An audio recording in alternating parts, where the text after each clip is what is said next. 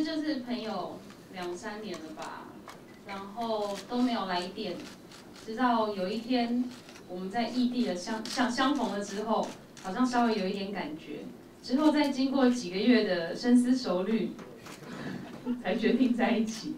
然后呢，又过了一年多，他就跟我求婚。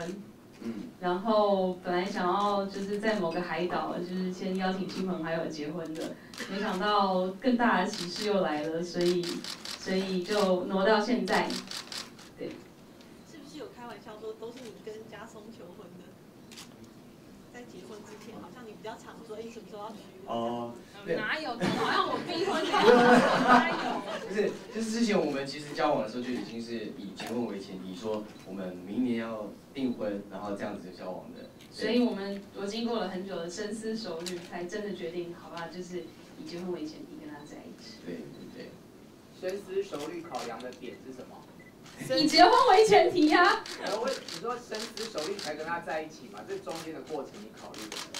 考虑很多啊，就是呃，不管是呃呃，就是个性啊，然后两个人可不可以好好的相处啊，还有呃两个人的工作啊，其实我都想蛮多的，想一想之后觉得 就是 the perfect one。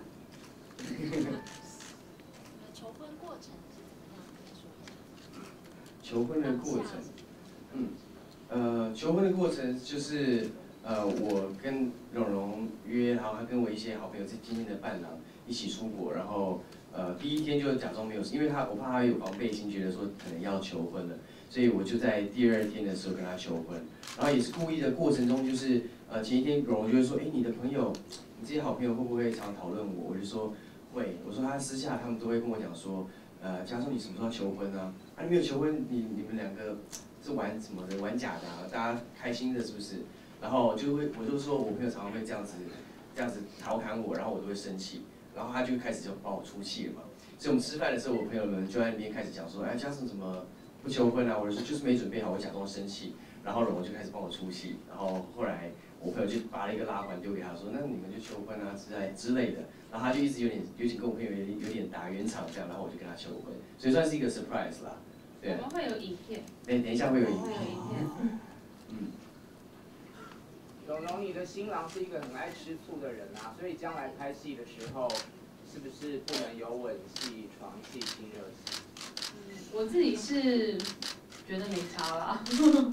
我觉得在在一起之前，他就知道我的工作，然后他就知道我是一个演员。那其实他，呃，这中间的过程，我们在一起的时候也是，我也有演很多戏，所以我觉得他一直都蛮尊重的。那就算吃醋也是吃在心里，也不会表现出来让我看到。所以我就是还是尽情的去做我喜欢的工作。嗯。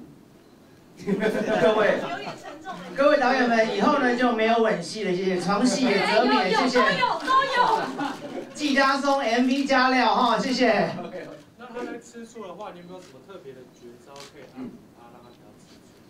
嗯。就是在那个上映的时间，他把我带出去吃饭啊，就是跟他出去。我就跟他讲说，没没有什么好看，你可以不用看，然后还看看不要看就好了。嗯，我尽量避免看的，对啊。可是还是尊重他的专业，这样。嗯。拍 MV 我也睁一只眼闭一只眼啦。嗯。现在小宝宝已经出生，然后两个人好像都很忙工作哎。对。对啊，有打算以后是给谁照顾？跟这个部分要怎么分开工作吗？现在就是家里人帮忙，然后到时候等我开始拍戏，真的很忙的时候，呃，就有可能会寻求专业的一些协助了。嗯。瘦身真的很成功，你要不要帮我们讲一下？详细一点的过程，你的计划是怎么制定这我们哪天排个专访好不好？我讲下去很久哦，每天做了很多事情。